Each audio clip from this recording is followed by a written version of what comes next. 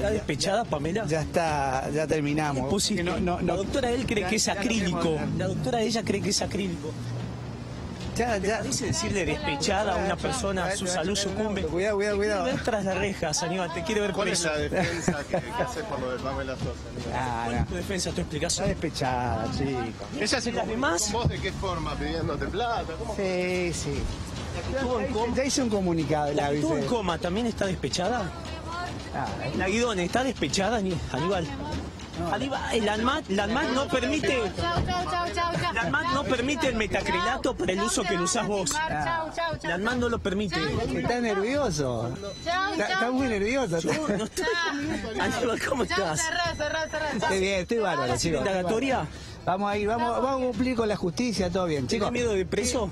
Sí, chicos, escuchen, tengo que cerrar el auto, tengo una reunión.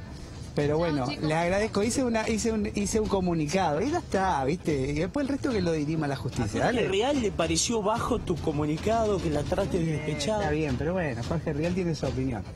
¿Te consideras un buen profesional? Hoy, uno de los mejores. Uno de los mejores. ¿Qué le pones a las chicas, Aníbal? Alegría, alegría. Chau, chicos. ¿Metacrilato con grasita? Usted, ustedes ya saben, ya lo expliqué muchas veces, chicos. No Gracias, Aníbal. No, chau, chau, gracias.